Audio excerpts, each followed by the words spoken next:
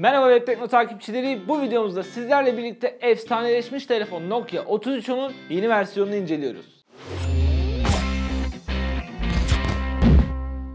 Arkadaşlar videoya geçmeden önce şunu belirtmek istiyorum. Bu telefonu tabii ki bir sağlamlık testi yapacağız. Yaratıcı yorumlarınızı aşağıya bekliyoruz. İlk 3310'un çıkışının üzerinden 17 sene geçti. Ancak bu telefonun çıkacak olmasının dedikoduları bile bizi yeterince heyecanlandırmıştı. İlk önce gelin bir hasret giderelim ve şu meşhur Snake oyununu oynayalım. Bir şeyin eskisinin yeniden çıkmasının çok hayırlı olmadığını genellikle görüyoruz. Biz de efsane yılan oyunuyla büyümüş bir nesil olarak çok fazla beğenmedik diyelim. Nostalji olarak eski yılan oyunu birebir kalsaymış diyebiliriz. Yılan oyunumuzun yanında telefonun içinde iki tane daha oyun geliyor. Bunlardan bir tanesi Asphalt 6 Adrenaline ki çok fazla oynayacağınızı düşünmediğim bir oyun. Diğeri de Diamond Twister 2 isminde bir oyun. Bu iki oyunda aslında telefonumuzda olmasa da olurmuş diyebiliriz. Zaten demo versiyonları oyunların istersek Nokia'nın mağazasından satın almamız lazım tamamını. Nostalji demişken Nokia'nın efsaneleşmiş zil sesine de bir bakalım. Bir karşılaştıralım eskisiyle.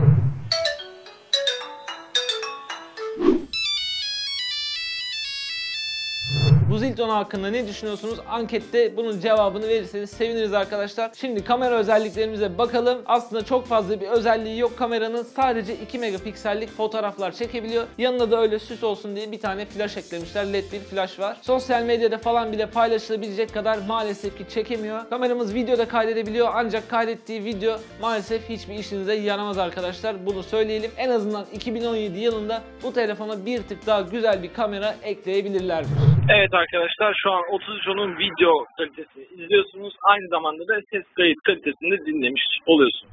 Ön kamerası bulunmayan telefonumuzun çok az da kutu içeriğinden bahsetmek istiyorum. Kutu içeriğinden telefonu şarj edebileceğimiz bir adet adaptör geliyor. Bu kabloyla veri aktarımı yapamıyoruz çünkü adaptörden çıkmıyor bu kablo. Bir de kulaklığımız geliyor. Pil harici olarak geliyor. Telefonun içine kendimiz takmamız gerek. Şimdi telefonumuzun tasarımıyla devam edelim. İsterseniz sarı, kırmızı, mavi ve gri olmak üzere 4 farklı renk seçeneğimiz bulunuyor. Yeni 3310'un 2.4 inçlik 240'a 320 piksellik bir ekranı bulunuyor. Oldukça düşük bir çözünürlük. Ekran gövde oranımız %30. Tabii ki alt taraftaki tuşlarında bunda etkisi büyük. Telefonumuzun sağında solunda herhangi bir tuş bulunmuyor. Arka tarafa baktığımız zaman hoparlörümüzü, led flaşımızı, kameramızı ve Nokia logosunu görebiliyoruz. Üst tarafta micro USB girişimiz yer alıyor. Telefonun alt tarafına baktığımız zaman bir tırnak var arka kapağı açabilmemiz için. Onun hemen yanında da 3.5 mm'lik kulaklık girişi yer alıyor. Ön tarafa baktığımız zaman da ayizemiz, ekranımız ve tuşlarımız yer alıyor. Eski 3310 tasarımına ufaktan da olsa benziyor ancak tam olarak onu yakalayabilmiş değil. Telefonumuzun kendi hafızası sadece 16 MB. Burada Nokia iyi düşünmüş ve bir adet micro SD kart girişi bırakmış telefonda. Burada da 32 GB'a kadar micro SD kartı takabiliyoruz. Telefonun işletim sistemi S30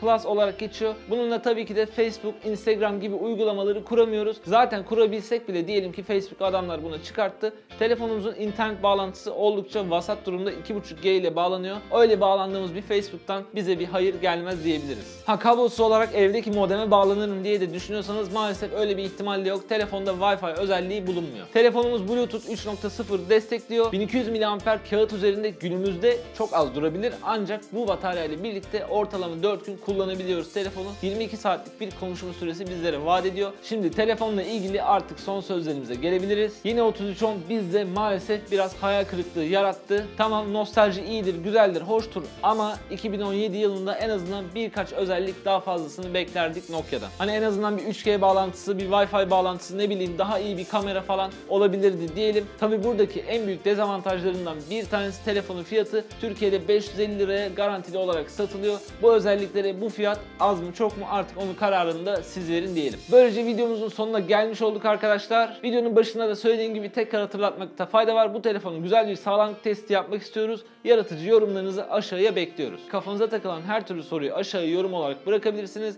Ayrıca videomuzu beğenmeyi unutmayın diyelim. Başka bir Web Tekno videosunda görüşmek üzere. Hoşçakalın. Millet iki yanında duran bağlantıları tıklayarak bambaşka Web Tekno içeriklerine ulaşabilir. Hemen ortadaki bağlantıdan da kanalımıza abone olabilirsiniz.